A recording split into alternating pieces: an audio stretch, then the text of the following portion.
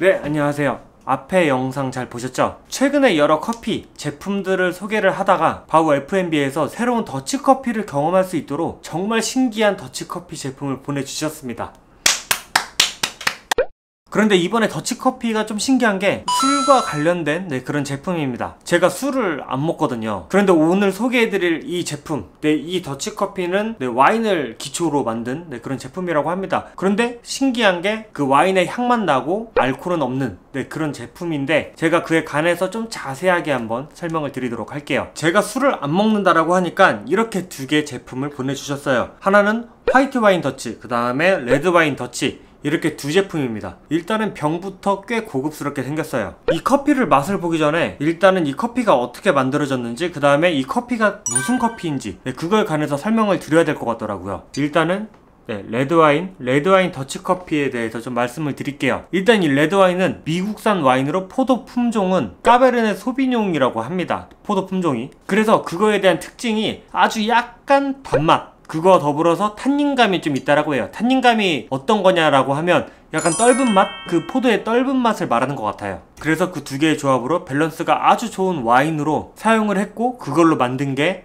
네, 바로 여러분 앞에 보시고 있는 레드와인 더치 커피입니다. 그 다음에 요거 네, 화이트 와인 더치 커피입니다. 이거는 프랑스산 와인이라고 해요. 그 다음 포도 품종은 소비뇽 블랑이라는 청포도 품종이라고 합니다. 네, 일단 지금 말이 되게 어려워가지고 이것도 뭐 와인에 대해 알아야 제가 설명을 드릴 텐데 아마 술이나 와인 좋아하시는 분들은 제가 무슨 말 하는지 다 알아들으실 것 같아요. 근데 저는 커피를 좋아해가지고 뭐 어찌됐든 되게 거기만의 특유의 향이 있다라고 하는 건데 이 화이트 와인 이거 같은 경우는 마셨을 때 목 넘김 후 올라오는 그 산미가 특징이라고 하는 그런 와인입니다. 네, 그렇게 해서 네, 이거는 화이트 와인 더치 커피. 그래서 이 두 제품 모두 와인과 커피의 좋은 점 네, 그런 부분들을 살려서 녹여낸 더치커피라고 말씀을 드릴 수 있을 것 같아요. 그러면 어떤 식으로 이 와인을 가지고 더치커피를 만드느냐? 저는 좀 그게 궁금해가지고 확인을 한번 해봤습니다. 일단 커피콩에다가 새싹을 틔운 다음에 위스키나 와인 등을 먹으면 바라커피 생두를 저온 로스팅으로 커피콩의 향을 네, 가두면서 그럼 그렇게 되면서 이제 알코올은 휘발시키고 일정한 온도에서 한 45일 그 이상의 이제 재발효 과정을 거치면서 또 거기서 원두를 그라인딩 해가지고 그걸로 더치커피 기구를 통해서 내린 게 네, 방금 보여드린 네, 바로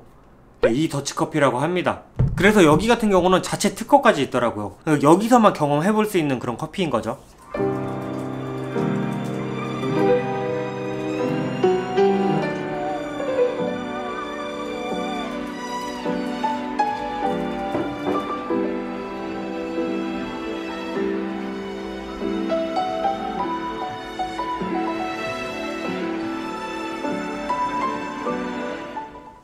그것뿐만이 아니라 카페인이 반으로 줄어가지고 그래서 디카페인을 좋아하시거나 아니면 카페인을 좀 적게 드시는 분들 그런 분들에게 약간 추천되는 네, 그런 제품이라고 합니다. 그래서 먹는 방법은 카페인 네, 카페인이 적다 보니까 그냥 얼음에다가 바로 넣어서 드셔도 되고 아니면 우유에 타서 네, 라떼식으로 먹어도 되고 뭐 일반적인 더치커피처럼 물이랑 희석해가지고 먹어도 된다라고 합니다. 그래서 여기에 보면 화이트 와인 이렇게 체크가 되어 있잖아요. 근데 그 위에 보면 여러가지 커피가 좀 있는데 만약에 술을 좋아하시는 분들은 꼬냑이나 위스키 네, 이쪽 더치커피 쪽으로 선택을 하시면 네, 그거에 향이 있다라고 하니까 네, 그렇게 드셔도 괜찮을 것 같아요. 일단 병이 네, 꽤 고급스럽습니다. 근데 제가 딴 거 제품들을 보니까 꼬냑이나 위스키 쪽은 네, 더 고급스러워요. 약간 술병 느낌이라고 해야 될까요? 그 다음에 제가 향을 한번 맡아볼게요. 그래서 레드와인 먼저.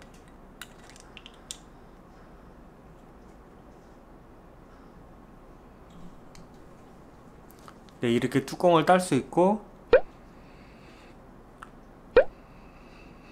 단순히 커피가 아니라 약간 산뜻한 네, 그런 향이 같이 납니다. 그 다음에 화이트 와인. 네, 화이트 와인 한번 뜯어볼게요.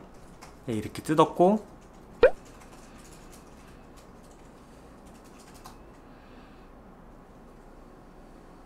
뭔가 약간 깊은 향이 좀 나는 것 같아요. 그 다음 맛을 한번 봐야 되는데 저는 그냥 얼음에다가 한번 바로 맛을 봐보도록 할게요. 역시 이번에도 레드와인. 네, 레드와인 먼저 한번 맛을 봐볼게요. 네, 레드와인 한번 따라 보겠습니다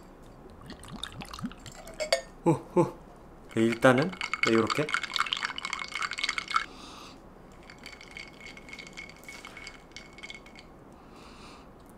제가 와인도 안 먹어봐서 와인이 어떤 향이 나는지 모르겠어요. 일단 한번 먹어볼게요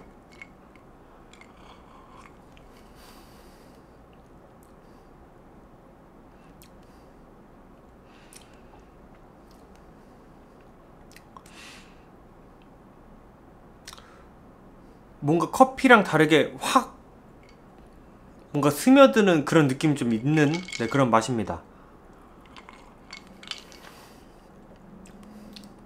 이거 진짜 알코올 없는 거 맞나?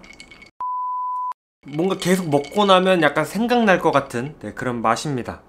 그래서 네, 레드 와인 이렇게 맛을 한번 봤고 다음은 네, 화이트 와인 이번엔 잘 따라 볼게요. 오 오. 네, 잘 따랐어요. 그 다음 화이트 와인입니다. 아까는 약간 떫은 맛이 있는 네, 그런 레드 와인이었고 미국산? 이건 프랑스산? 약간 산미가 있다라고 합니다. 목 넘기고 나서 그 올라오는 맛이 있다라고 하는데 한번 어떤지 한번 맛을 봐볼게요. 이렇게 얼음에 타 먹어도 괜찮다라고 하는데 생각보다 살짝 진한 맛이어서 어, 물을 조금 네, 타 드셔도 괜찮을 것 같아요. 근데 이거 우유에 타 먹으면 좀 더 맛 괜찮을 것 같다라는 생각이 좀 듭니다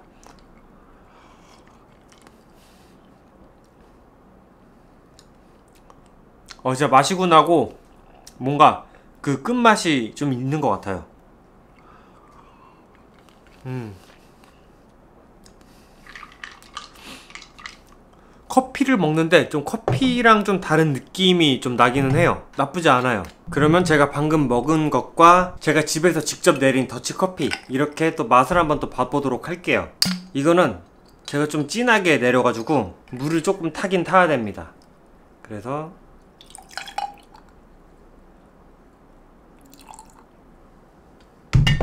색깔은 거의 비슷하죠?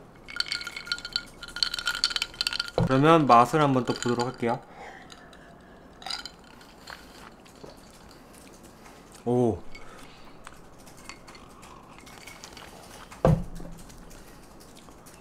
네, 그, 둘 다 보면, 딱 베이스는 더치커피. 네, 저, 더치커피인데, 그 뒤에 느껴지는 향이 완전히 달라요.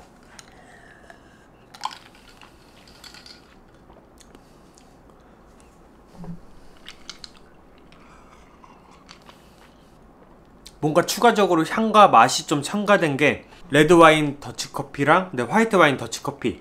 네 그렇게 느껴집니다.